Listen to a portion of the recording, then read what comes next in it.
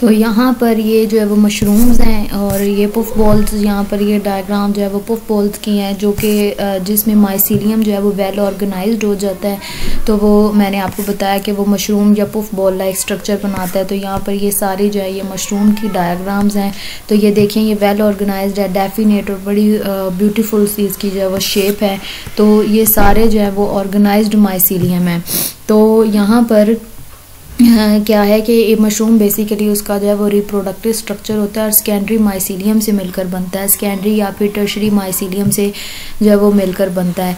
तो ये और हमेशा इसकी एक प्रॉपर जो है वो शेप होती है। वेल डिफाइंड जो है वो बॉडी उसको जो है वो हम मशरूम कहते हैं या फिर रिप्रोडक्टिव स्ट्रक्चर भी जो है वो इसको कहते हैं।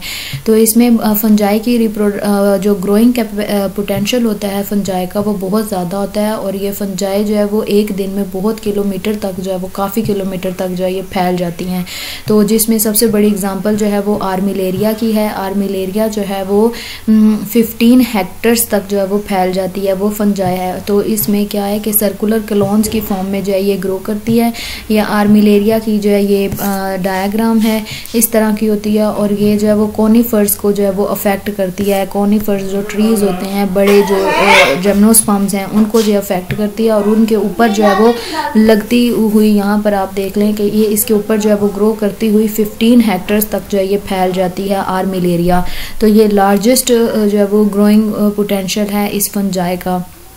तो ये येलो बॉक्स एक्सप्लेन कर दिया मैंने ये आपने पढ़ लेना है कि single hyphae mycelium produce up to a kilometre of a new hyphae in only a one day काफ़ी किलोमीटर तक जो है सिंगल माइसिलियम जो है फैल जाता है। उसकी जो बेस्ट एग्जांपल है that is a Armillaria Armillaria basically ये पैथोजेनिक फंगस है किसको अटैक करती है? कॉनिफर्स को। अफ्लिक्टिंग कॉनिफर्स मतलब उसको अटैक करती है बहुत बुरे तरीके से। उसकी वुड के साथ जो है वो आ, उसके साथ लगकर जो है वो ग्रो करती है। ये उसकी दिखाया हुआ है उसकी जो स्टेम है उसके स्टेम के साथ ग्रो करती हुई 15 हेक्टर्स तक जो है ये फैल जाती है।